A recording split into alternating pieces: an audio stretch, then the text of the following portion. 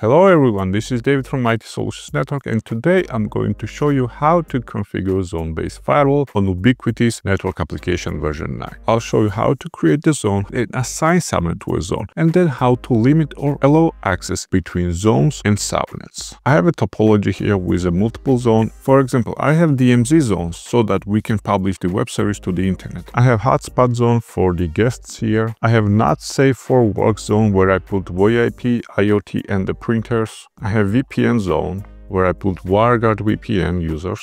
And I have internal zone for the Ubiquiti devices and users. Obviously, we also have the gateway zone, where the only device in that zone is the gateway itself. Now let's create all the subnets and zones that we have on topology. So first would be users subnet. Let's go into our Ubiquiti device, UniFi, networks, and then here, I'm going to rename this into UI devices.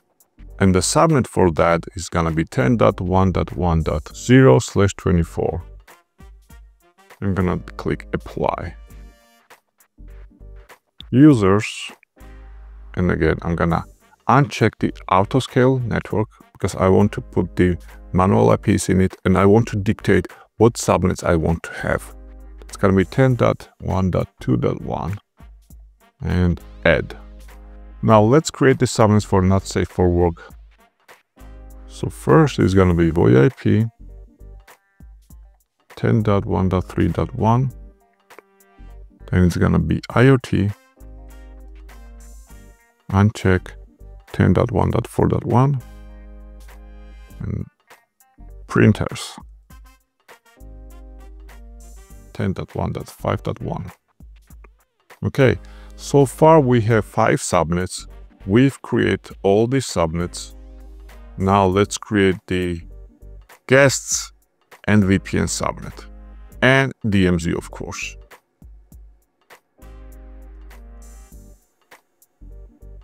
I'm going to put this guest subnet into hotspot zone and that's going to be 10.1.6.1 gateway VLAN ID 6 and add. Now let's create the WireGuard. We are going to click the VPN on the left sidebar and here make sure the WireGuard is checked, the server is checked and let's name the server remote users.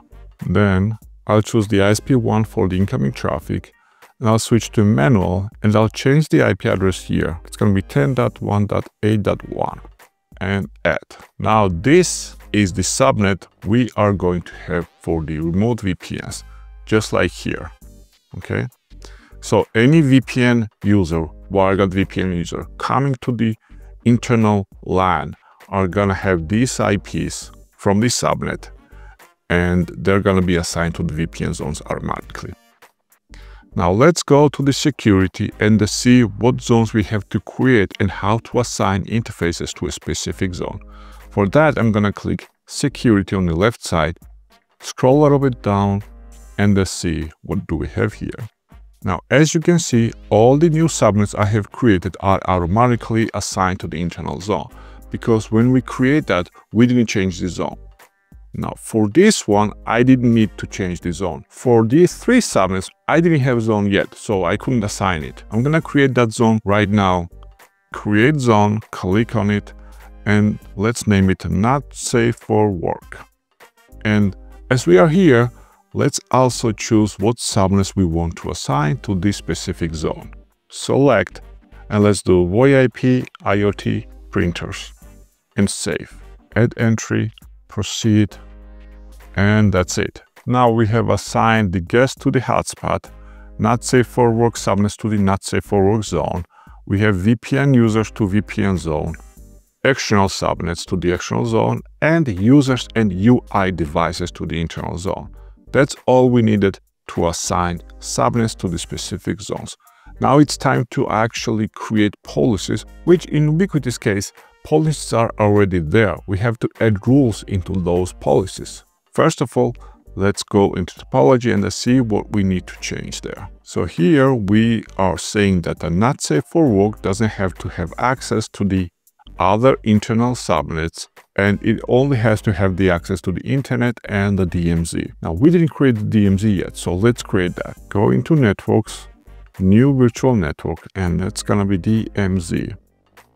Choose the DMZ zone because we already have zone compared to not safe for work zones when we creating the VoIP, IoT, and printer subnets. We didn't have the not safe for work zone yet, so we couldn't change it from here but the DMZ exists by default, so we can choose DMZ zone. Let's change this subnet to 10.1.128.1 and let's change the VLAN to 128 and click add. Now we have created DMZ subnet. Let's make sure that every single zone has access to the internet except VPN because I want VPN users to go to the internet through the our gateway. So they are not going to have the access to the internet. Let's go into security, scroll down, and you see this matrix here, right? Let's come back to topology. If you want to allow the access from the internal zone to the external, this is the policy. This is how the zone policy works. You have internal zone to the external zone. To choose this specific policy that will affect traffic coming from the internal zone to the external, you have to choose internal zone as the source and external zone as the destination. Let's do that. Here on this matrix, you see that we have source here and we have destination here, right? Which means if I want to choose the policy that affects the traffic that goes from the internal to the external zone, I have to choose source as internal here and the destination as external right here. So for that, I'm gonna click right this link here and it will filter and show only the rule sets that affects the traffic that goes from internal zone to the external zone. And as you can see, we block all the invalid traffic by default and then we allow all traffic by default. So for this traffic, we don't have to change anything on the zone-based firewall policy rules. It's already allowed automatically. This is how it allows all the traffic from the internal to external zone, any destination, any source port, any source IP, any destination IP. Doesn't matter how many subnets you have on the internal zones, they all are included into this one rule set. Now let's come back here and check if the not safe for work zone has the access to the internet. Would they? No, they will not by default, but we can change that. Source is the not safe for work and the destination is external. So where do we want to click? Right here. Let's click it.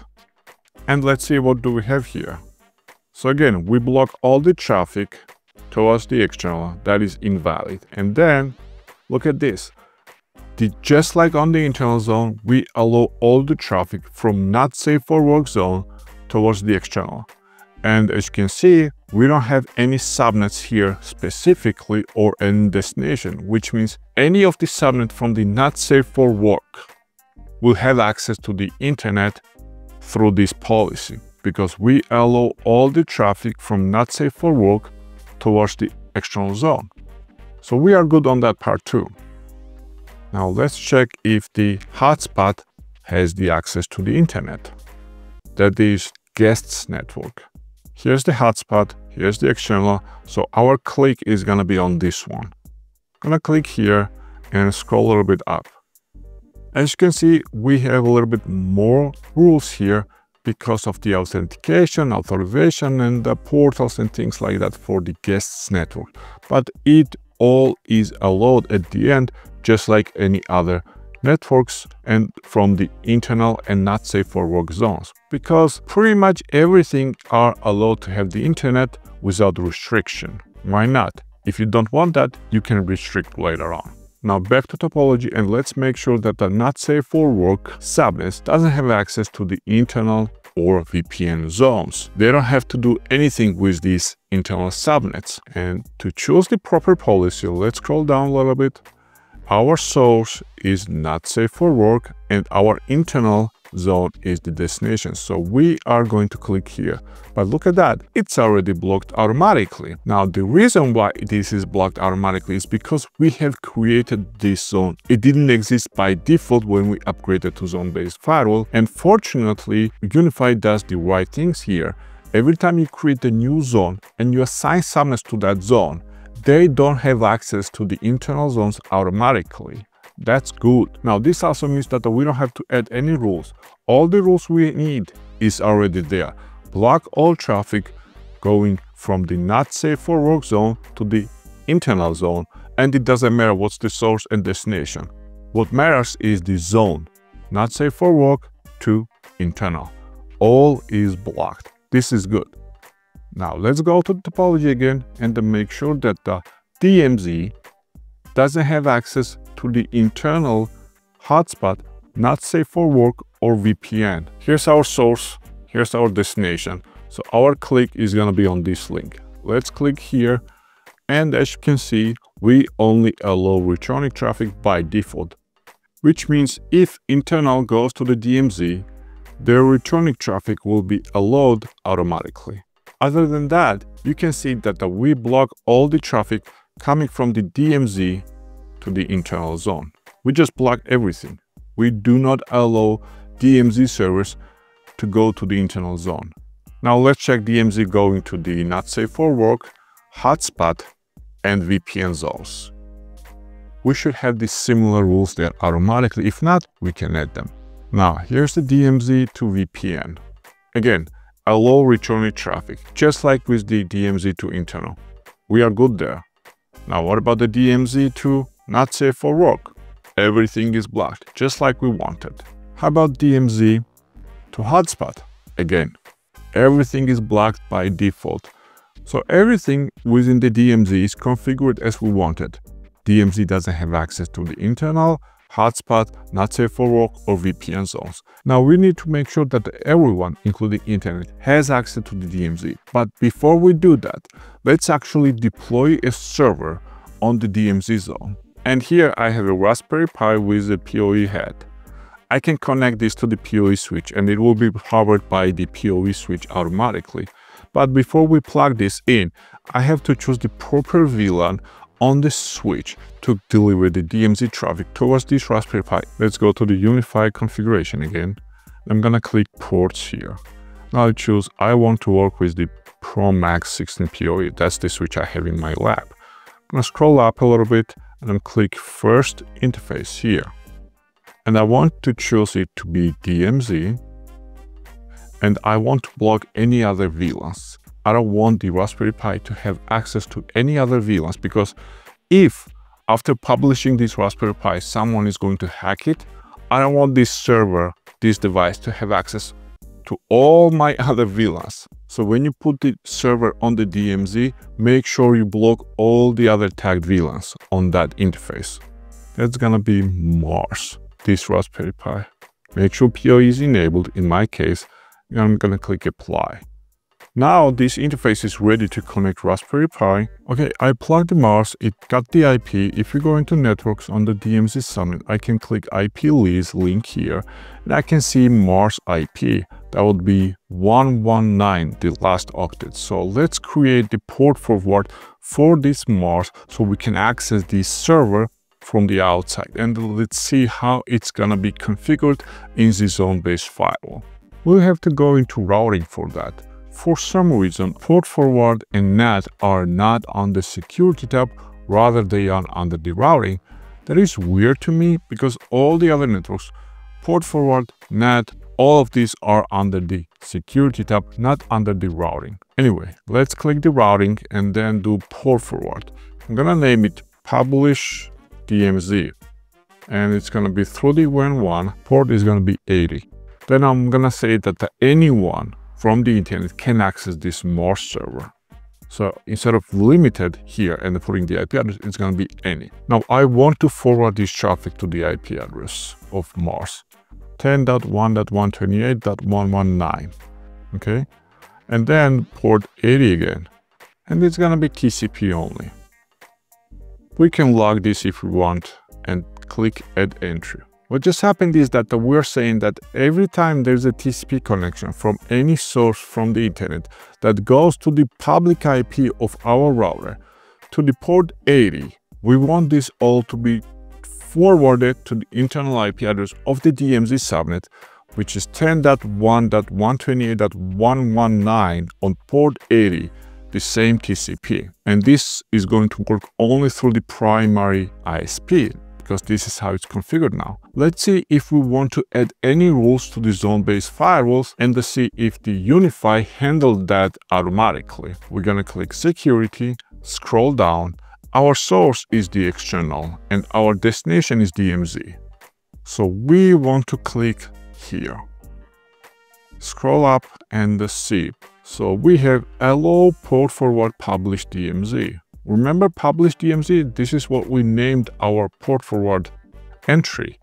So basically this record is here automatically. We don't need to do any of the rule add. Now let's check if it's working.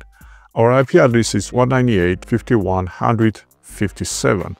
Can open new tab and just click 88, no, just 80. And look at this, it's work. I can access the DMZ server from my computer. So basically our DMZ port forward works just fine. Everything we wanted to do based on this topology is already done. If you have any questions, put them in the comment. If not, just like the video if you liked it, of course. And subscribe to my channel to see my other videos in the future. Take care.